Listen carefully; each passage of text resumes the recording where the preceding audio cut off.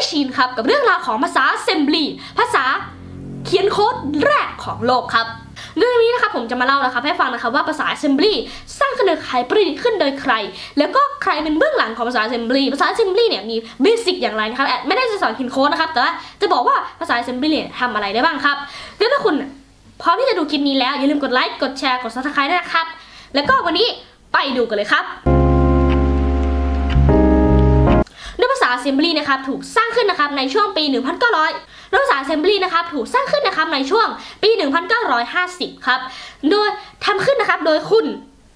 แคทลีนฮิลดาวาเลรีครับ โดยคุณคนนี้นะครับได้สร้างภาษา Assembly ขึ้นมาครับ โดย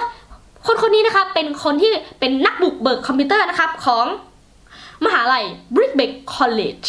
ในลอนดอนครับที่ขณะทำงานกับบริษัทหนึ่งนะครับชื่อว่า Automatic Relay Computer หรือ ARC หรือภาษา Assembly รุ่นแรกๆนะครับหรือระบบ ARC หรือ Automatic Relay Computer นะครับเป็นระระบบนะครับที่เราเนี่ยใส่เลขเหมือนเลข 0 1 หรือเลขฐาน2 binary เข้าไปนะครับให้คอมพิวเตอร์เนี่ยเป็นการอ่านเองไปเลย ให้คอมพิวเตอร์เนี่ยสามารถเข้าใจได้ แต่ก็อยู่บนระบบของ Assembly ครับซึ่ง command add sub add ก็คือการเพิ่ม sub ก็คือ subtract หรือการลบนั่นเองครับ อันนี้เป็น command ง่ายใน assembly แต่ว่าด้วยความที่ assembly นะครับเป็นภาษาที่ใกล้เคียงที่สุดนะครับของคอมพิวเตอร์ฮาร์ดแวร์ก็คือใกล้ที่สุดกับ CPU นะครับหรือใกล้ที่สุดเกี่ยวกับระบบด้านในคอมพิวเตอร์นะครับเป็นภาษาที่ส่วนใหญ่เนี่ยเวลาภาษาอะไรนะครับที่สมมติผมเขียนใน Python Python นะครับจะถูกย้ายนะครับไปเป็นภาษา assembly โดยภาษา assembly นะครับเป็นภาษาสุดท้ายนะครับที่ มนุษย์นะครับสามารถอ่านออกได้โดยที่แบบไม่ได้มีความ struggle หรือไม่ได้มีการตัวแปลภาษานะครับ ซึ่งหมายความว่าผมสามารถเอาตัวนี้ใช่ไหมครับเปลี่ยนจาก Python ไปเป็น assembly แล้วตัว assembly เนี่ยคอมพิวเตอร์ของเรานะครับจะอ่านเป็นเลขฐาน 2 หรือ 0 1 โดยเลข 0 1 นี้นะครับเขาเนี่ยก็จะเอาออกมานะครับแล้วก็ทำตามนะครับตามเลข unit นะครับหรือว่าเลขที่มาก่อน โดย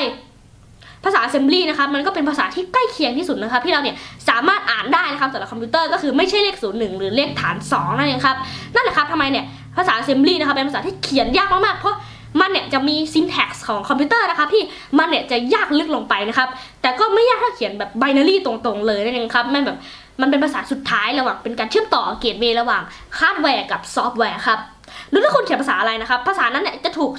ส่งนะครับไปยังภาษา assembly นะครับและจากนั้นเนี่ยก็จะให้คอมพิวเตอร์อ่าน แล้วแปลงเป็นฐาน 2 เพื่อที่คอมพิวเตอร์สามารถอ่านแล้วก็ทำงานตามได้ด้วยภาษา assembly นะครับเมื่อออกมารุ่นแรกๆนะครับก็มีความว้าวนะครับก็เลยเขาเนี่ยก็เลยเอาไปใช้ขนาดระบบ EDSAC นะครับของมหาวิทยาลัยเคมบริดจ์จากลอนดอนนะครับยังสามารถนำไปใช้ได้เลย เพราะภาษา assembly เป็นภาษาที่ ในช่วงนั้นนะครับเป็นภาษาที่อ่านง่าย ไม่จำเป็นต้องใส่บานารีตรงๆ แต่ว่ามีระบบนะครับที่อาจจะสามารถส่งซับซ้อน deep in dive in ได้นะครับ ซึ่งมันมีระบบที่ซับซ้อนมากๆและนี่ก็คือทั้งหมดนะครับของภาษา assembly ครับ ถ้าคุณชอบคลิปนี้อย่าลืมกดไลค์กดแชร์กด subscribe นะครับ และวันนี้ผมต้องลาไปก่อน สวัสดีครับ